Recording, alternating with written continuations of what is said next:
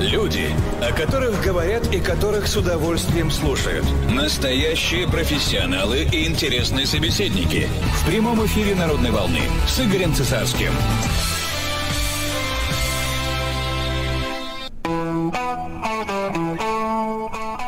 Наш эфир продолжает программа «Радиоблог» с Игорем Цесарским. Здравствуйте, Игорь. Добрый день, Сережа. А, добрый день, уважаемые радиослушатели. Так, очередной выпуск, очередной радиоблог. С чего бы я его хотел начать? Э, как всегда напомнить о том, что выходят э, новые материалы у нас бесперебойно два раза в день на нашем основном сайте общественно-политическом continent.usa.com. Я рекомендую прочесть э, статьи, которые пишут наши авторы. Это эксклюзивные материалы, нигде в другом месте вы их не прочтете, разве что если у нас кто-то их перепечатает. Сегодня у нас э, статья, допустим, Дмитрия Гаранина, сегодня у нас материал Якова Фейтельсона. В общем, есть что почитать. Естественно, основная тема — это э, война в Украине, которая происходит. И э, вокруг этой темы, естественно, много материалов и, и соответственно, мнений, которые, в общем-то, укладываются практически в одно. Идет агрессия из России, а Украина пока мужественно отбивается и в ряду защитников, э, в общем-то, наш коллега сейчас, э, журналист, писатель Сергей Лойко, я всячески рекомендую вам посмотреть сегодня, я думаю, мы успеем поставить этот репортаж, который утром сделала э, с Елена Пригова. В общем-то, Сергей находился на передовой. И, в общем, с передовой он э, нашел полчаса, чтобы сделать это интервью. Я тоже это э, вам говорю не просто так, а, а для себя отметьте, что именно в континенте, именно у нас э, выходит то, что, скорее всего, вы не увидите в другом месте и не услышите. И самое главное, это, это та правда, которая, опять же, вам не будет доступна а особенно из тех каналов, которые, слава богу, уже закрываются и не вещают в нашей стране. Ну, вот такое небольшое вступление. А сейчас с моим тезкой Игорем Туфельдом из Бостона мы продолжим э, разговор. Но я думаю, мы перейдем э, все-таки на американскую тематику, потому что э, хотелось бы у Игоря узнать, какие вот текущие самые последние новости были э, на сей час. Это во-первых. А во-вторых, чтобы он дал оценку коллегам, э, республиканцам, которые так или иначе высказываются о, о, о войне в Украине и, и высказываются иногда таким образом, что у нас возникает очень много вопросов, причем нелицеприятных. Игорь, привет, и я даю тебе слово. Привет. А, но, к сожалению, а, Игорь, ты в чем-то прав, хотя не во всем, но начну, наверное, с а, Такера Карлсона, о котором сейчас постоянно все говорят. Причем на самом деле это не просто как бы выступление, которое используется в пропагандистских целях в России на тех каналах, которые сейчас здесь уже пытаются каким-то образом заблокировать, но и потому, что э, его выступления используются также и противниками республиканской партии. То есть вот сегодня, например, а, я слышал, как э, ему перемывали косточки в этой известной программе «View» взгляд с Вупи Голдберг, которую, как мы помним, недавно совсем на две недели а, отстранили от э, эфира, потому что она говорила какие-то нелицеприятные вещи в отношении Холокоста. А, и, в общем, а, довольно серьезная такая атака была, причем, а, как это всегда бывает, особенно на таких каналах, как ABC, CNN, MSNBC и так далее. Все это используют не только про Такера Карсона, а вообще про каналы Fox, про каналы One American News и, естественно, про республиканскую партию. На самом деле – эта информация полностью не соответствует действительности, о чем, собственно говоря, и надо говорить не только в нашей программе, но и вообще. А, дело в том, что э, как раз не далее, чем а, в пятницу, 42 а, сенатора-республиканца из 50, то есть это общем, довольно большое количество, подписали петицию к президенту США Байдену с требованием разрешить поставки истребителей на Украину, то, о чем постоянно требует президент Зеленский. Поэтому выступление Такера Карлсона, в общем-то, на самом деле а, я, у меня нет никакого объяснения, кроме, пожалуй, одного.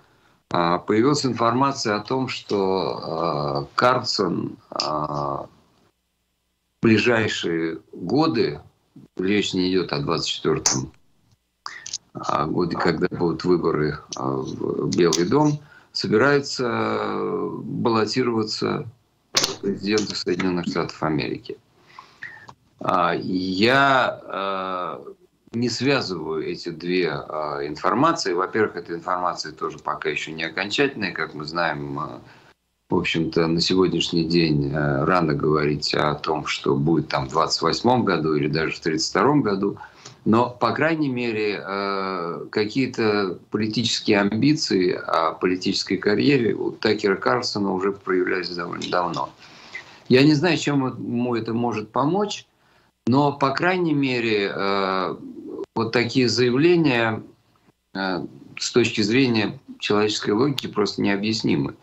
Возможно, он рассчитывает на какую-то свою аудиторию, а, хотя на самом деле на сегодняшний день э, мне кажется, что как раз вот эта пропагандистская кампания, которая идет в поддержку Украины, она, собственно говоря, а, внепартийна.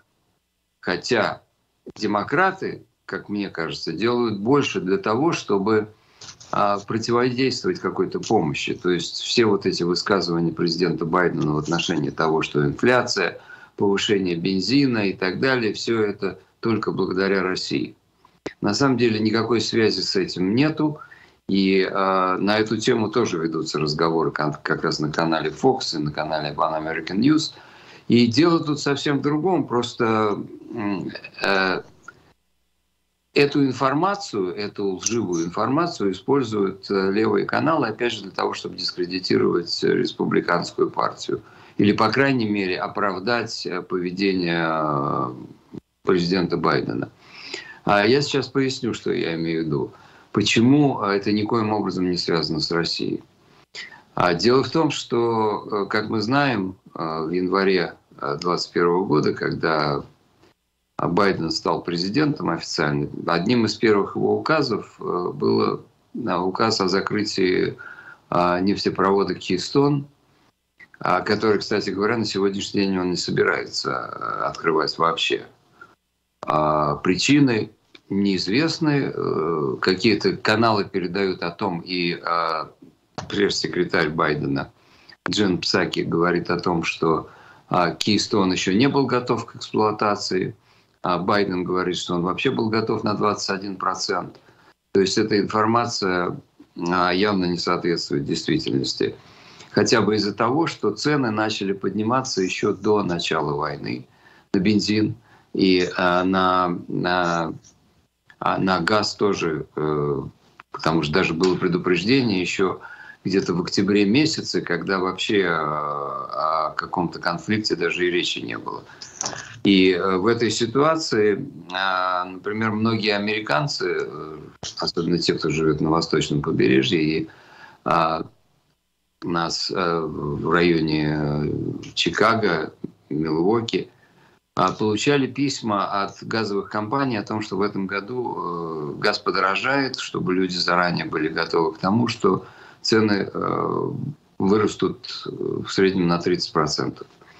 То есть это тоже никоим образом не связано с э, Россией, а связано, опять же, наоборот, с Байденом, потому что в той ситуации, когда а, а тоже одним из его первых указов было снятие э, санкций с Северного потока, это способствовало тому, что э, американский газ, э, в принципе, тоже, э, газ, газовая промышленность тоже, в общем-то, находится а, в определенном состоянии, когда э, под эгидой, опять же, я хочу повторить, это очень важно, под эгидой борьбы за экологию, то есть зеленая такая экономика, которая сейчас очень популярна в Европе и стала популярна благодаря Байдену а, в Соединенных Штатах Америки. И, кстати говоря, в связи с этим я хочу просто сравнить а, два действия двух президентов, Трампа и Байдена.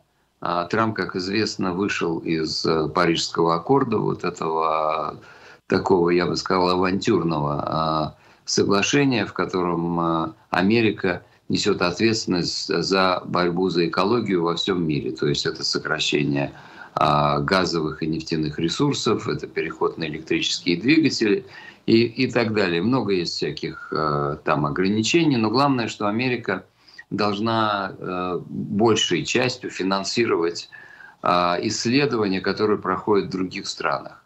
Трамп из этого вышел, потому что он заявил, во-первых, его обвиняли в том, что он борется с вот этой проблемой экологии, а на самом деле он заявил о том, что он хочет, чтобы экологией занимались каждая страна в отдельности. Америка э, – это отдельная страна, которая будет заниматься своими проблемами и не может финансировать другие страны. А Джо Байден решил, наоборот, тоже одним из первых его решений было возвращение а, в экологическую, авантюрную, а, парижскую а, конвенцию. И, в общем-то, вот результаты мы видим – они э, никоим образом не связаны ни с Россией, ни с войной на Украине, а ни тем более с поведением президента Путина. Причем здесь я хочу сказать, чтобы меня просто люди послушали внимательно и не обвиняли меня в том, что я поддерживаю Путина. Я говорю открыто, я его не поддерживаю.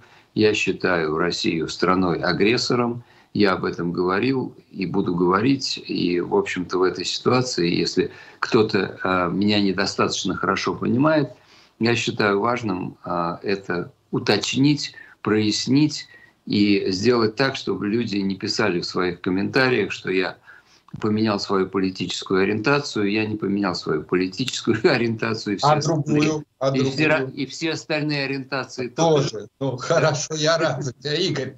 Хорошо, я, я согласен, что напрямую то, что происходит, не завязано на войне, которая начиналась, но заметь какие-то вещи, которые к этой войне подвигала, в том числе вот интересное э, замечание – мы не раз говорили, э, что возможен даже какой-то определенный сговор. Да? Естественно, у нас нет на руках прямых доказательств этого сговора, но тем не менее мы понимаем, что к ноябрю месяца э, администрация Байдена приходит не в лучшем состоянии, это очень-очень мягко сказано. Так? И в экономике, и в международных делах, в чем угодно. И, соответственно, как когда-то э, президенту Клинтону понадобилось неким образом перевести стрелки, да, так Байдену крайне было нужно тоже это сделать. А, вот предположить, зачем нужно было в этот момент э, Путину э, в эту авантюру влезать, трудно, но тоже можно, учитывая позорище Америки в Афгане и лидеров, которые сейчас в Западной Европе. Он решил Блицкригом решить свои вопросы, которые уже явно не решит и не решит никогда в принципе.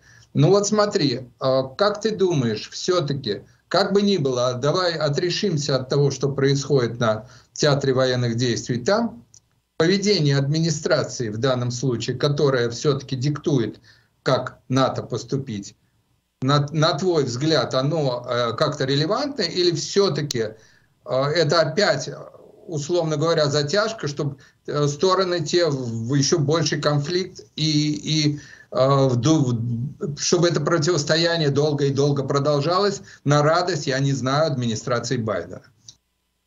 А, мне кажется, что это не а, специальное, неумышленное затягивание, это просто элементарный страх перед э, страной-агрессором. Причем здесь я хочу пояснить, что прежде всего речь идет о вот такой вот формулировки «закрытое небо». Я разговаривал с, с военными, разговаривал с а, специалистами в этой области, и, собственно говоря, у меня тоже есть кое-какая информация а, в этом вопросе.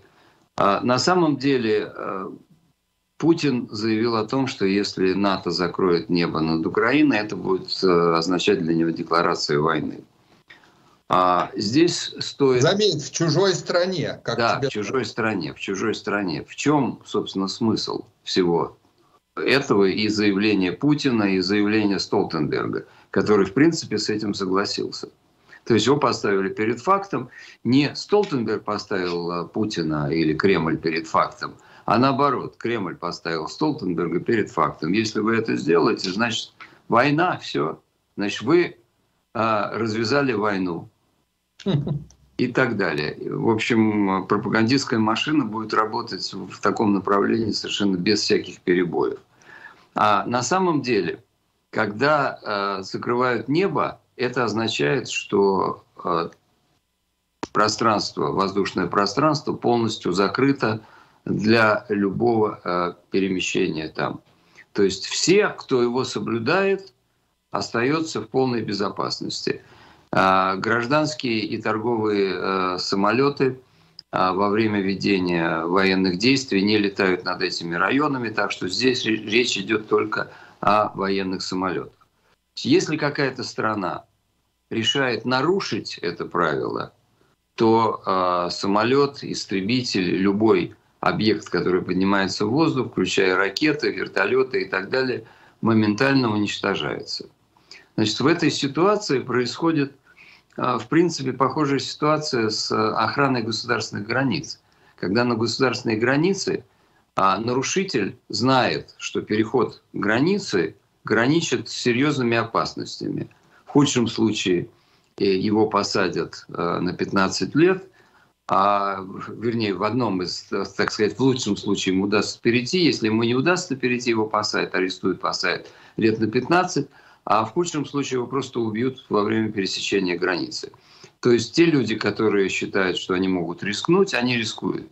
Но в любом случае нарушителем этой конвенции станет та страна, которая нарушит это правило закрытого неба. И, по сути дела, а, Кремль дал понять Столтенбергу, что вы можете делать все, что угодно, мы все равно будем там летать, вы нас будете сбивать, а тогда мы объявим вам войну. Игорь, но это выглядит совершенно дико, учитывая, что если бы разговор шел о закрытии российского неба, да, российского, но это да, это практически война, это понятно. Но разговор идет о закрытии неба соседнего, независимого, подчеркиваю, государства. Как же тогда это воспринимать? Воспринимать это можно таким образом. Это э, действительно отдельное суверенное государство Украины, на котором в данный момент находятся российские войска. Поэтому, которые, естественно, применяют э, все свои э, возможные арсеналы, которые, как говорят э, у них на сегодняшний день, э, с этим очень серьезные проблемы. И, э, в общем-то, в этой ситуации, э, по сути дела, НАТО становится на сторону страны-агрессора. Ну, как это ни странно. Игорь, представь себе, а завтра, не, как говорится, без всякой паузы долгой, допустим, э, решат защитить своих русских соотечественников в той же Риге. Рига, то есть Латвия, они находятся в НАТО, так? И также Кремль объявит, что бесполетная зона в том месте, куда уже вошли наши войска, будет выглядеть как агрессия против нас, против России. Ну, это не совсем так, я бы не стал бы здесь утрировать, потому что так можно ну, дойти вообще до русских соотечественников в Америке тоже, и в Израиле, Совершенно верно. и в Почему? Германии, Конечно. И, и во Франции. Вообще в Западной Европе много русскоязычных ну, ты, граждан. Ты, ты почитай. Дело тут вот в чем. Русского мира, там то все нормально, там все да. прописано. Я просто хочу тебе сказать такую вещь, что здесь э, Латвия и вообще Прибалтика находятся в составе стран НАТО.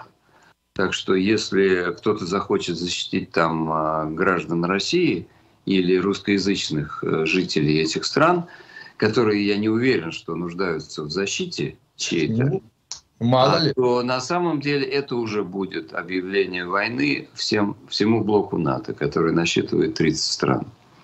И, правда, уже были заявления, допустим, Хорватии, которая сказала, что она не будет принимать участие в военных действиях. Но, кстати, здесь я хочу напомнить историю, которая была во время американской э, операции «Буря в пустыне» против Ирака, а, когда Израиль обстреливали э, ракетами. Угу. И, в общем-то, в этой ситуации а, была создана, причем там все началось с захвата Кувейта и а, других военных действий со стороны Ирака, который тоже, кстати говоря, проводил военную операцию. Угу была создана военная коалиция, которая включала в себя армии арабских стран. И в этой ситуации э, эти арабские страны поставили ультиматум, что мы будем воевать э, против Ирака при условии, что Израиль не будет принимать участие ни в военных действиях, ни носить никакие ответные удары по Ираку. Okay. И э, в Израиле приняли эту позицию, это, она называлась политика сдерживания. И несмотря на то, что Израиль обстреливали ракетами «Скат», если не ошибаюсь, 42 ракеты были выпущены по территории Израиля, а Израиль а, выполнил свои обещания. Игорь, и... во имя общего дела да. Израиль поступился немного своими интересами, но в любом случае это же было э, так или иначе на пользу сделано. Ну, естественно, да. Но на самом деле там тоже были различные вещи, когда израильтяне вместе да. с американцами, во-первых, они передавали им разведданные, то есть они как бы все равно принимали участие Конечно, в, этой, но... в этой операции, но а, об этом все закрывали на это глаза, скажем так. Так сказать, как бы инсайдеры, но не именно конкретно своими подразделениями Цахала, допустим. Да. То, то есть вот в том-то и дело, что прецеденты существовали. И поэтому, когда сейчас некоторые аналитики говорят, ну как же так, а вот эти просьбы уже буквально вопиет а, Зеленский и другие политики украинские, помогите же нам, закройте небо, это поможет нам, в общем-то, решить эту военную кампанию в свою пользу в какой-то степени, да?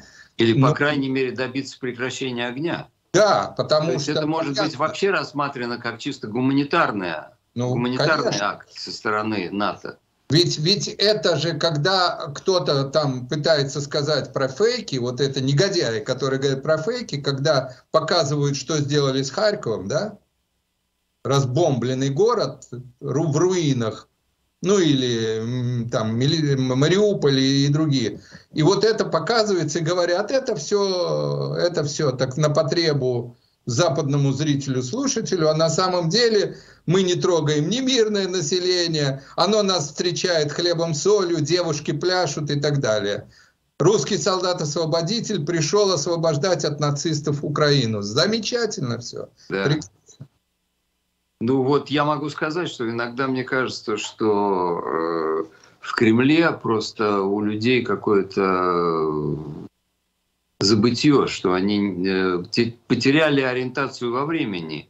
И им кажется, что они освобождают Украину от немецко-фашистских захватчиков в 1941 году. Правда, тогда почему-то они не проводили никакие военные операции, и Киев, э, Украину освободили в каком, в 43-м или в 44-м году? Ну, да. Ну, ладно, так или иначе, все эти исторические аллюзии мы еще успеем э, высказать, а пока э, небольшая реклама, и оставайтесь с нами во второй части. Вы можете задать вопросы. Большая просьба быть очень э, короткими, потому что я хотел бы больше слушать нашего эксперта сегодня приглашенного, нежели длинные-длинные комментарии. Ну, вы меня поняли.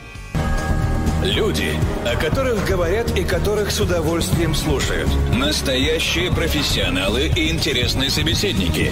В прямом эфире «Народной волны» с Игорем Цесарским.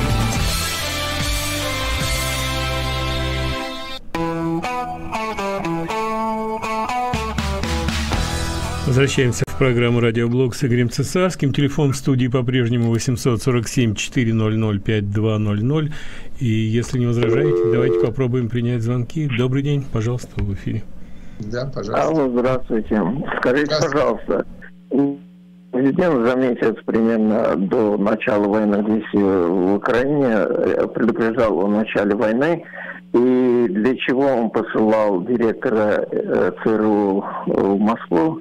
Для того, чтобы договориться с, с Путиным или все же скоординировать свои действия, чтобы помочь силам себе нас, потому что рейтинг его был слишком мал на тот момент. Спасибо, Спасибо. за вопрос. Игорь, пожалуйста.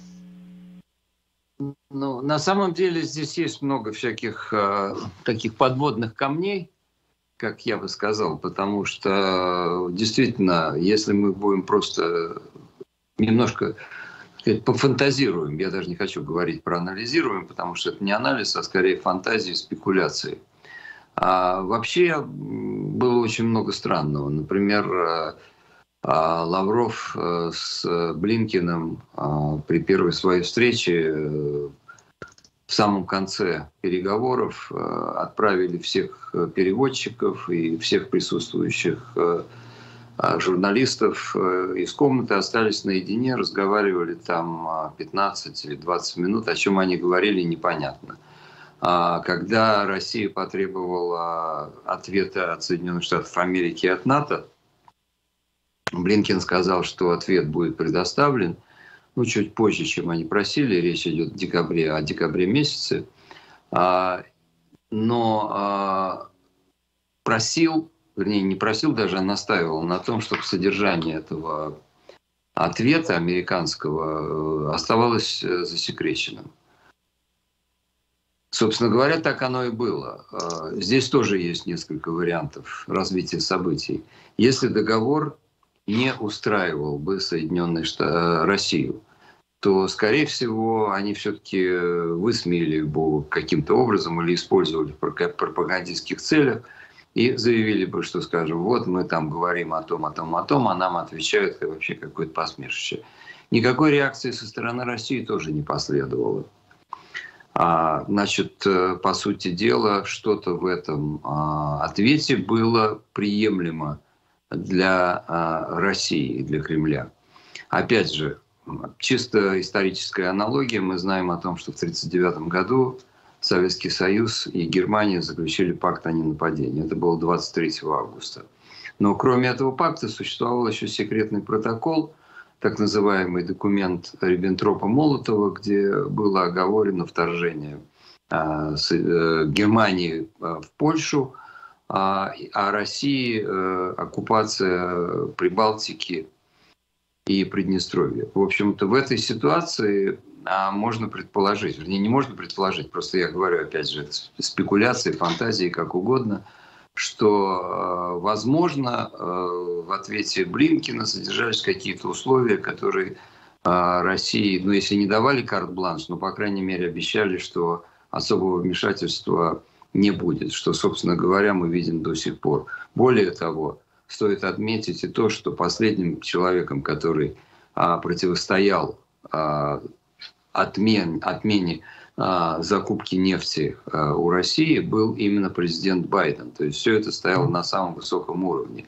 Уже даже когда сенаторы-демократы, включая даже такую экстравагантную а, даму, как Нэнси Пелози, обратилась к нему с этой просьбой – все равно он продолжал настаивать, но в конце концов э, вынужден был сдать свои позиции. Игорь, извини, есть звонок, может мы примем, потом продолжим этот ответ. Добрый день, слушаем вас. А, здравствуйте.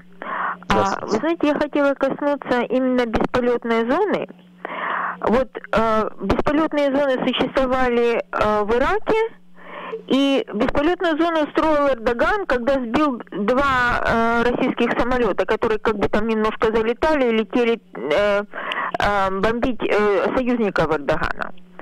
И Путин обещал ему помидорами не обойдется, и все-таки он помидорами обошелся. Ничего он ему не сделал, абсолютно. То есть Эрдогана он боится. И поэтому я думаю, что можно было через Эрдогана хотя бы передать Украине – эти э, самолеты, которые все так боятся, боятся передать. Так боятся, прямо дрожат. Я не понимаю, это, а, э, по-моему, Гитлера они так не боялись, как они боятся Путина. Вот, вот мне это непонятно, вот это вот явление. Может, вы можете объяснить? Спасибо большое. Спасибо за ваш звонок. Э, спасибо. Ну, во-первых, я скажу, что для того, чтобы передать истребители через Эрдогана, надо спросить самого Эрдогана, а согласен ли он на такую сделку или нет. Он, в общем-то, находится тоже в такой ситуации. Ну, конечно, а, человек э, тоже авторитарного а, склада, политик, который тоже пытается там руководить Турцией в тоталитарном плане. А, но дело не только в этом. Во-первых, э, Турция – это страна, которая входит в состав э, НАТО, этого военного, военного альянса, поэтому в этой ситуации это тоже может быть рассмотрено как а, применение пятой статьи а, НАТО, которая гласит о том, что если принимаются какие-то военные действия а, против одной из э, стран, входящей в состав этого альянса, то это э, одновременно означает, что все 30 стран принимают участие в соответствии с уставом НАТО. А опять же, здесь существуют еще и другие вещи, что на самом деле – а не только Соединенные Штаты отказали в поставке МИГов, но и НАТО. То есть, по сути дела, Эрдоган не может собственноручно отправить эти самолеты в, а, на Украину. Кроме всего прочего, поляки а, собирались э, сделать это, причем было несколько вариантов. Они приглашали украинских пилотов для того, чтобы они на этих э, самолетах перелетели через границу. Но и это, по сути дела, э, на, на это решение тоже было наложено вето. Так что здесь дело не в Эрдогане, не в Турции. А в отношении закрытого неба, ну, что здесь можно говорить? Вообще существует международная конвенция, которая гласит о том, что если даже гражданский или грузовой самолет а, случайно попадает на территорию другой страны, то а, вначале с ним связываются – а, и если этот самолет не отвечает, то его а, начинают сопровождать истребители и в конечном итоге сбивают, как это было с корейским самолетом, который попал на территорию Советского Союза. Такие же случаи были и с ливанским самолетом, который попал на территорию Израиля. Это международная конвенция. Так что здесь речь идет только о военных самолетах и о заранее а, предупреждение, что любой самолет, который поднимется в воздух, будет уничтожен. Так же, как любое летающее средство, о котором я говорил уже буквально 10 минут назад.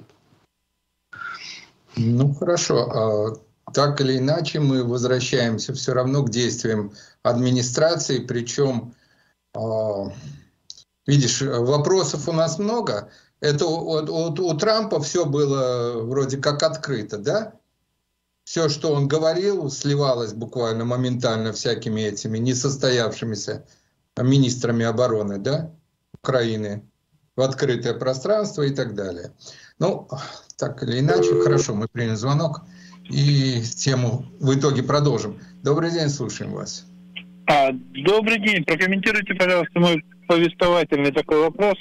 А, у меня такое ощущение, что Украину готовили на заклане с 2014 года. И как бы ее просто сдали, и все. И никто ни о чем тут говорит. Просто сдали, и никто не собирается за нее вступаться. И как бы вот, вот ни о чем тут, мне кажется, детский сад какой-то. Спасибо.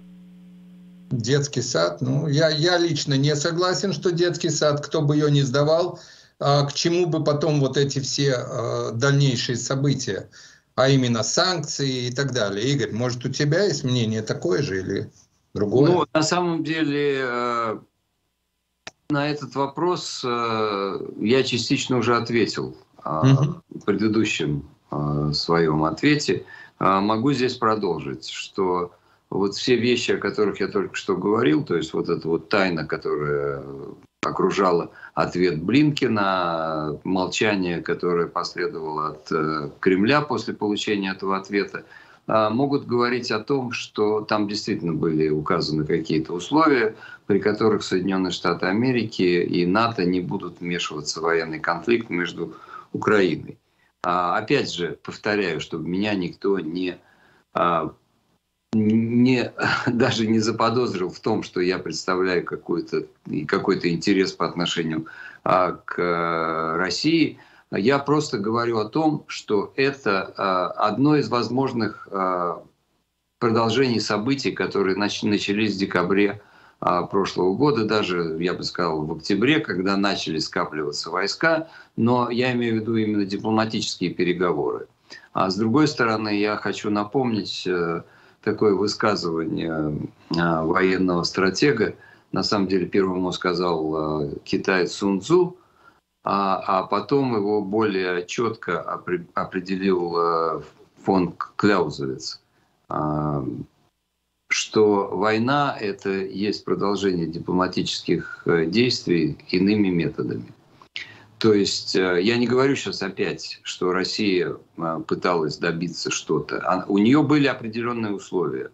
И сейчас разговор не о том, насколько они были а, оправданы или наоборот завышены.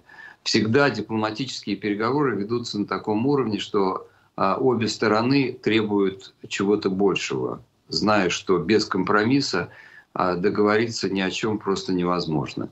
И, э, скорее всего, что в этой ситуации действительно оговаривались какие-то возможные шаги, оговаривались меры. В любом случае должны были существовать какие-то предложения со стороны Блинкина. Возможно, в ответе Блинкина и здесь у меня уже есть какая-то более конкретная информация из довольно надежного источника, а, что прежде всего речь шла о том, что а, Соединенные Штаты Америки а, предоставляли определенные гарантии о том, что Украина никогда не станет членом НАТО. На самом деле здесь я хочу дополнить такую вещь, э, тоже немаловажную, что для принятия новой страны в военный альянс НАТО необходимо единогласное решение. То есть э, из 30 стран все страны должны проголосовать а, за эту страну. Если хотя бы одна страна возражает, то а, страну не принимают. Кстати говоря, подобная ситуация была именно в отношении Украины и Грузии в 2008 году, когда при голосовании две страны, а, Германия и Франция, а, проголосовали против.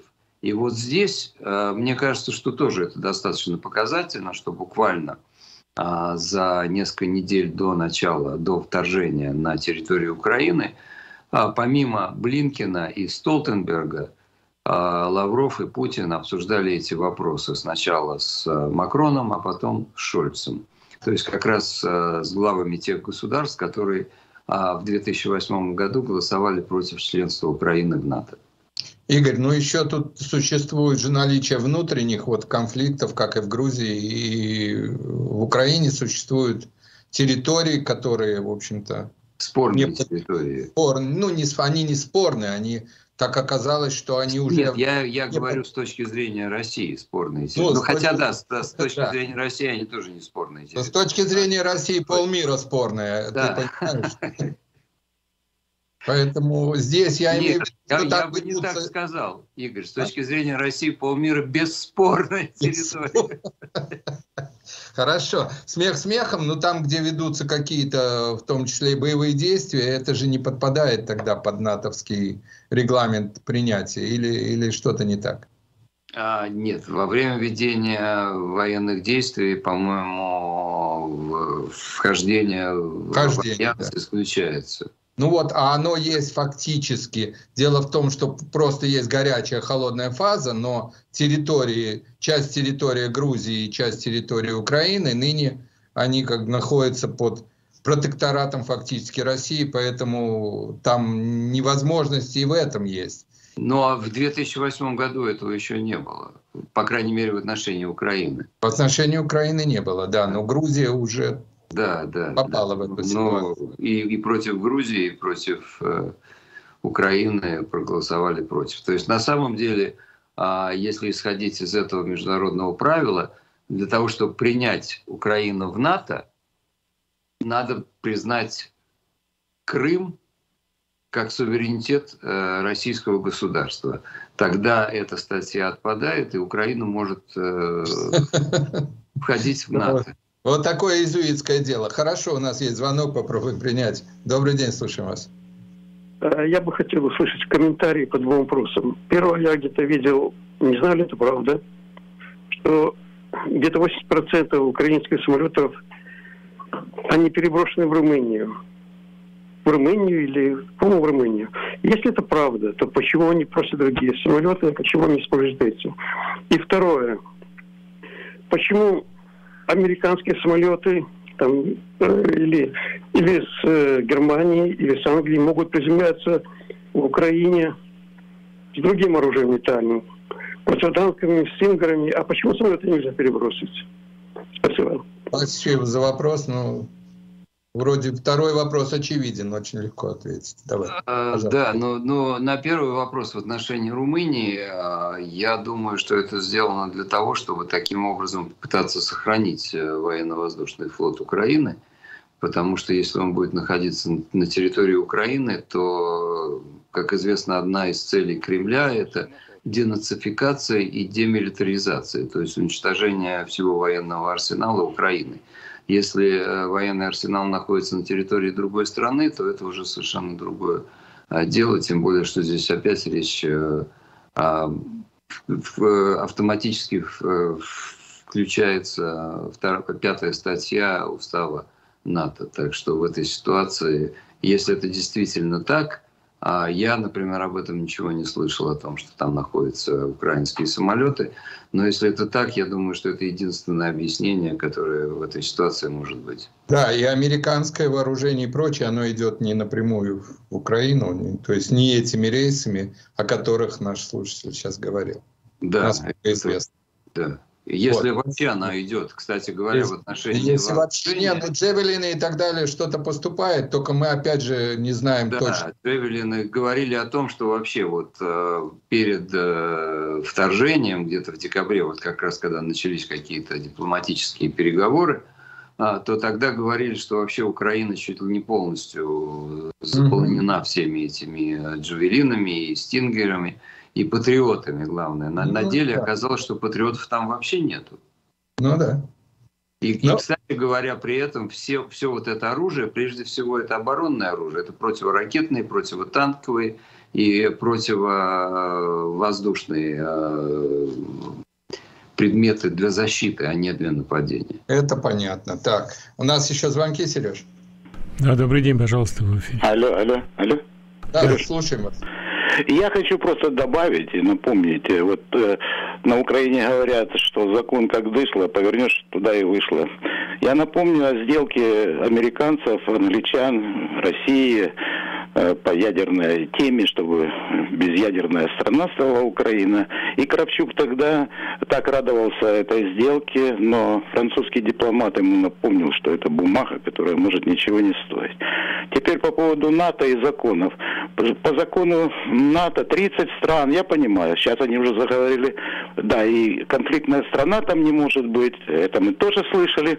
Но приехал наш министр э, обороны в Киев и заявил, никакая стран, никакой стране не может быть запрещено быть с теми, с кем она хочет. То есть это все одна и та же грязная политика. Хорошо, это вот. слова. У вас есть вопрос? Э, у меня вопрос. А, напоминать надо людям, что голосовать надо все-таки за тех, у кого есть здравый смысл. Потому что Спасибо. память короткая у всех. Понимаете, а люди это, гибнут. Это вы правы сто процентов. Спасибо большое. Короткая, мы надеемся, да. что в этот раз, в ноябре, у кого-то все-таки память не такой короткая, кажется. Игорь. Давайте следующий звонок примем. Я Давай. очень надеюсь на это. Слушаем вас.